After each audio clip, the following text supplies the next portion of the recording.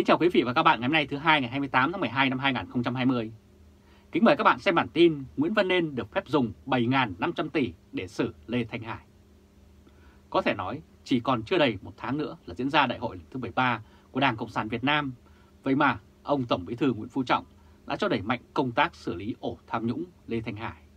Không biết số tiền 7.500 tỷ đồng đó có xuống được tay những người dân oan hay không, và khả năng là không thể xuống được vì phía thanh tra chính phủ chưa thừa nhận phía chính quyền sai.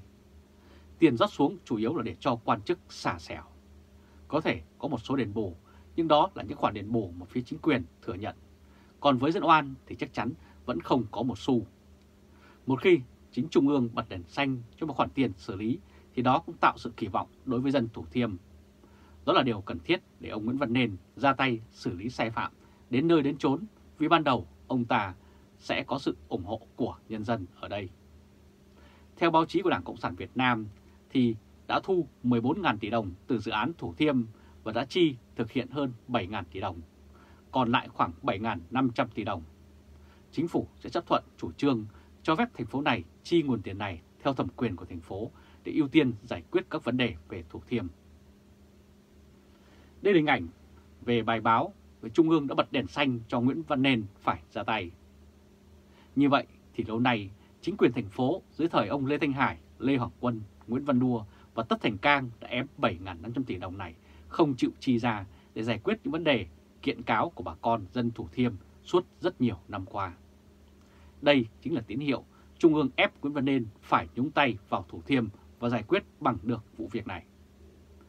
Với việc cho phép Nguyễn Văn Nên dùng 7.500 tỷ ấy mới nhìn, tưởng là trao cho ông Nên thêm công cụ xử lý vấn đề Thủ Thiêm, nhưng thật chất không phải vậy.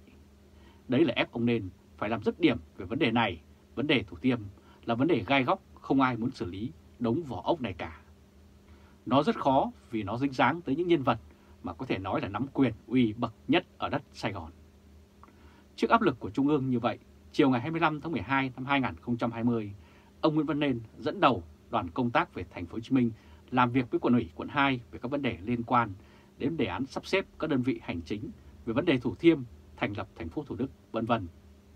Trong buổi làm việc với ông Bí thư quận ủy quận 2 Nguyễn Phước Hưng đã báo cáo với ông Nên rằng người dân đang lo lắng về tình hình đền bù tái định cư khi khu vực tranh chấp của họ sắp trở thành khu vực dưới quyền quản lý của thành phố Thủ Đức. Thông thường, mỗi lần chuyển đổi cơ cấu tổ chức đơn vị hành chính thì bộ máy chính quyền mới thường hay đổ lỗi cho bộ máy chính quyền cũ mà kéo dài vấn đề đền bù ra thêm nữa. Đây là hình ảnh ông Nguyễn Văn Nên và Võ Văn Hoan. Cuộc họp về vấn đề sử dụng khoản tiền 7.500 tỷ đồng này, ông Nguyễn Văn Nên có kéo theo ông Võ Văn Hoan, người mà vào năm 2018 đã báo cáo mất bản đồ quy hoạch gốc, làm bà con 5 khu phố thuộc 3 phường An Khánh, Bình Khánh, Bình An mất đất vào tay tập đoàn mafia chính trị nhà Lê Thanh Hải. Nay ông Hoan là Phó Chủ tịch Ủy ban Nhân dân thành phố tham dự để hỗ trợ ông Nên trong vấn đề giải quyết đền bù. Được biết, việc thu hồi đất oan diễn ra ở 5 khu phố và 4,3 hecta, nhưng ông Võ Văn Hoan chỉ nói là chỉ đền bù cho người dân thuộc khu 4,3 hecta ở Thủ Thiêm, còn lại dân ở 5 khu phố kia vẫn bị chính quyền ăn quỵt. Như vậy, dù muốn dù không, khi đã có 7.500 tỷ trong tay thì ông Nguyễn Văn Nên sẽ không có lý do gì để chần chừ giải quyết vấn đề Thủ Thiêm nữa. Nước cờ cao tay của ông Nguyễn Phú Trọng ngay trước đại hội 13 đã diễn ra tại Sài Gòn như thế. Không biết bằng cách nào ông Nguyễn Phú Trọng nắm được con số 7.500 tỷ còn đọng lại trong vấn đề Thủ Thiêm, mà bây giờ ông hối thúc Nguyễn Văn Nên phải vội vàng gặp bí thư quận ủy quận 2 để giải quyết vụ việc. Vụ án Thủ Thiêm, nó là một vụ án vô cùng phức tạp. Nó không những liên quan đến phần oan của dân, mà còn liên quan đến phần sai phạm quan trọng của quan chức Đảng Cộng sản Việt Nam. Việc chi ra số tiền 7.100 tỷ đồng nếu không khéo ông nên dính đến sai phạm tiếp chứ không dễ. Chính vì vậy ông nên phải khai thác tất thành càng mới có đủ dữ liệu để giải quyết vấn đề oan ức của quận 2 hiện nay. Mà một khi đã khai thác tất thành càng thì đường nào những lời khai đó nó cũng dẫn đến công an thành phố để tìm đến nhà ông Lê Thanh Hải, Lê Hoàng Quân và Nguyễn Văn Đùa. Cũng trong cuộc họp, ông Võ Văn Hoan nói rằng thành phố đã thu 14.000 tỷ đồng từ dự án Thủ Thiêm, đã chi thực hiện 7.000 tỷ đồng, còn lại khoảng 7.500 tỷ đồng.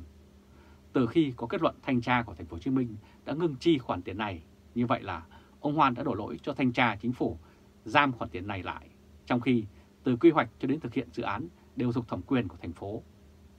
Hồi năm 2018, khi đó dân đòi kiểm tra bản đồ quy hoạch gốc ứng với quyết định quy hoạch của ông Võ Văn Kiệt ký thì ông Hoan đã làm mất tấm bản đồ quý giá này. Có thể nói, trong cái sai phạm của Thủ Thiêm đó không để thiếu vai trò của ông Võ Văn Hoan được. Ông Hoan cũng nói rằng vừa qua họp với chính phủ, thành phố Hồ Chí Minh đã đề xuất sử dụng nguồn tiền này. Chính phủ chuẩn thuận chủ trương cho phép thành phố xem xét tiền là kết dư ngân sách, sử dụng nguồn tiền theo thẩm quyền của thành phố theo đúng quy định của pháp luật. Cho phép thành phố sử dụng tiền này chi trước hết là ưu tiên những vấn đề liên quan đến Thủ Thiêm. Có nguồn tiền sẽ giúp thành phố có nguồn lực giải quyết những vấn đề lo lắng của người dân. Hiện nay, Ủy ban Nhân dân thành phố đang giao cho Sở Tài chính thành lập danh mục báo cáo Hội đồng Nhân dân thành phố sử dụng nguồn tiền này đúng quy định của chính phủ, chính thức cho phép sử dụng nguồn tiền. Đây là hình ảnh liệu ông Võ Văn Hoan có dính chàm hay không. Trong báo cáo của ông Võ Văn Hoan dường như có điều gì đó hết sức mờ ám trong việc sử dụng khoản tiền 7.500 tỷ đồng này. Nếu không giải trình xuân sẻ với Trung ương, rất có thể chỉ cần quẳng miếng mồi 7.500 tỷ đồng, ông Nguyễn Phú Trọng lại kéo ra hàng loạt sai phạm khác. Võ Văn Hoan là một người thuộc diện nghi vấn như thế. Không chỉ một mình, Nguyễn Văn Nên bị dí mà Trần Lưu Quang cũng đang bị Trung ương tiếp tục truy vào vấn đề. Còn Nguyễn Văn Nên thì vội vã họp với Đảng ủy quận 2, còn Trần Lưu Quang thì đi khu vực quận 9 để làm việc với bà con nhân dân thành phố ở quận này để tìm sự ủng hộ và đồng thời ông cũng làm việc với quận ủy quận 9 về vấn đề thành lập thành phố Thủ Đức. Khi đó, chuyện của quận 2 thành chuyện chung của thành phố Thủ Đức rồi. Như vậy là khi Trung ương giao xuống nhiệm vụ xử lý về vấn đề Thủ Thiêm thì cả Nguyễn Văn Nên và Trần Lưu Quang cùng xuất hiện và xuất quân. Đây là vấn đề phối hợp của nhóm Tây Ninh để xử lý vấn đề tiêu cực thành phố lớn nhất đất nước này. Trần Lưu Quang lo vòng ngoài nhưng áp lực với ông ta cũng không hề nhỏ như đã nói. Nguyễn Văn Nên, Trần Lưu Quang và Đinh Thanh Nhàn là ba nhân vật trụ cột phải xử lý dứt điểm đại án này.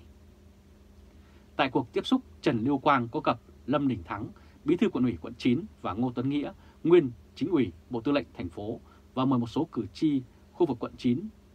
Tuy nói là có cử tri, nhưng đó chủ yếu là cán bộ lão thành của thành phố sống trong địa bàn này. Đây là công tác dân vận của Trần Lưu Quang, muốn thông qua các bô lão này thuyết phục người dân ủng hộ nhóm Tây Ninh của ông ta phá án. Tại cuộc họp, có một cử tri phát biểu cho rằng một khi Quốc hội đã đồng ý cho phép thành lập thành phố Thủ Đức thì có vấn đề liên quan đến Thủ Thiêm phải được giải quyết rốt ráo. Các cử tri cũng quan tâm đến việc triển khai đề án chính quyền đô thị. Cử tri Nguyễn Hữu Châu thì đánh giá việc thành lập thành phố Thủ Đức không đơn thuần là việc sát nhập hệ thống chính quyền và quy hoạch đô thị. Thành phố cần giải quyết dứt điểm tồn tại ở khu đô thị mới Thủ Thiêm để đảm bảo lợi ích hợp pháp, chính đáng cho người dân bị giải tỏa ở đây. Đây là hình ảnh ông Trần Lưu Quang cũng bị áp lực rất lớn đối với ông Nguyễn Văn Nền. Có thể nói, sau khi gặp lãnh đạo và các bố lão tại quận 9, thay vì tìm kiếm sự ủng hộ của ông Trần Lưu Quang, lại gặp thêm một áp lực nữa từ những vị bố lão sống tại quận này. Trên thì áp lực trong trung ương, dưới thì áp lực các bố lão thì có thể nói Trần Lưu Quang và Nguyễn Văn Nên đang trong thế áp lực ghê gớm. Và câu hỏi được đặt ra là liệu ông Nguyễn Văn Nên và Trần Lưu Quang còn có đường lùi hay không? Chiếc ghế lãnh đạo của thành phố lớn nhất nước là một cái ghế rất béo bở, không phải ai muốn cũng có được. Làm bí thư thành phố này thì rất dễ vào tứ trụ, còn làm phó bí thư thường trực thì có thể nói cơ quan, cơ hội vào Bộ Chính trị cũng là rất lớn. Hai ghế ngon như vậy mà ông Nguyễn Văn Phú Trọng đều giao cả cho hai người Tây Ninh thì rõ ràng kèm theo đó là trách nhiệm rất lớn. Cả Trần Lưu Quang và Nguyễn Văn Nên phải hoàn thành nhiệm vụ đã 5 năm chính ông Trọng không thể làm được. Tại cuộc họp với các lãnh đạo và cử tri quận 9, khi tiếp cận ý kiến của cử tri, thì ông Trần Lưu Quang biết ngay đây là áp lực rất lớn đè đến ông. Áp lực này kết hợp với áp lực đến từ Trung ương, nó trở thành áp lực kéo ông kép và khiến ông Trần Lưu Quang và ông Nguyễn Văn Nên đều không có đường lùi.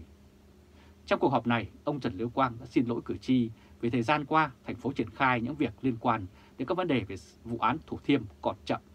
Cũng đáp lại cử tri, ông Trần Lưu Quang nói rằng hiện đã có nghị quyết chuyên về vấn đề này.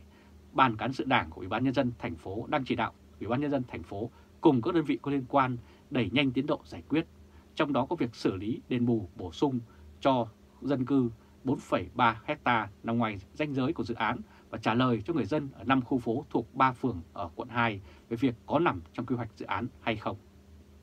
Ngoài ra, về vấn đề quan trọng nữa cần thúc đẩy là làm sao để tiếp tục kêu gọi đầu tư xây dựng khu đô thị Thủ Thiêm, phát triển ở đây thành trung tâm tài chính có tầm cỡ. Ông Quang nói tiếp như sau. Nếu không có tổ chức mô hình hành chính và chính quyền kiểu mới thì chúng ta vẫn phải xử lý câu chuyện của Thủ Thiêm.